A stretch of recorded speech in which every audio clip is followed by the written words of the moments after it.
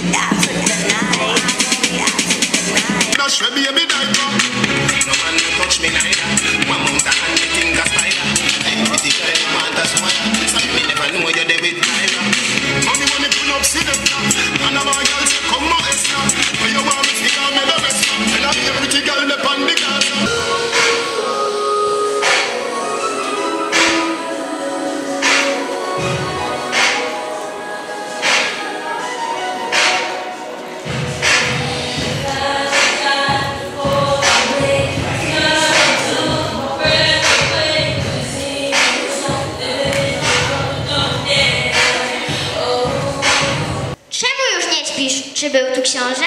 Nie, Kopciuszek mnie obudził. Kopciuszek cię pocałował? Nie, tylko podeptał.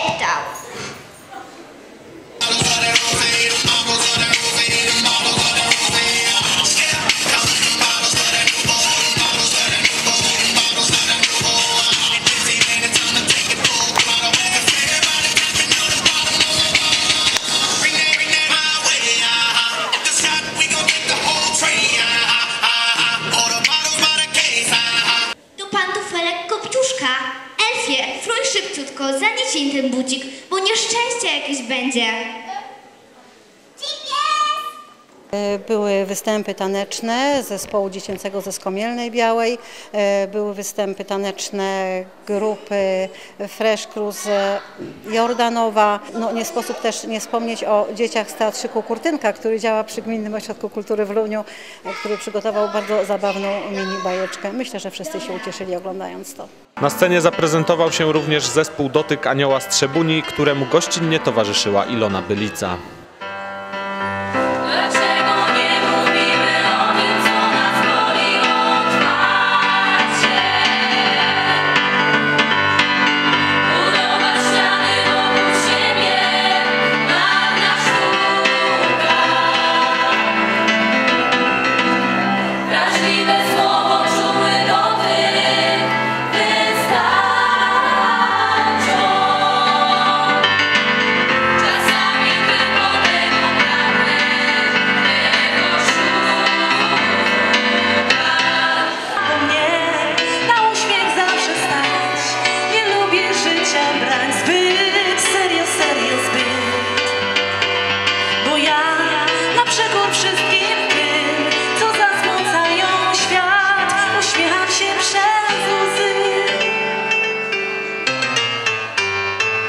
Myślę, że było kapitalnie.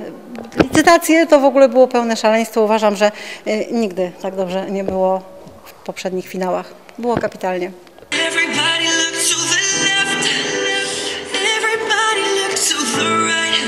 Can you feel that?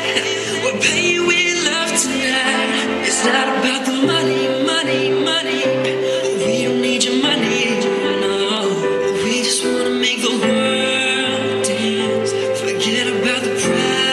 wasted.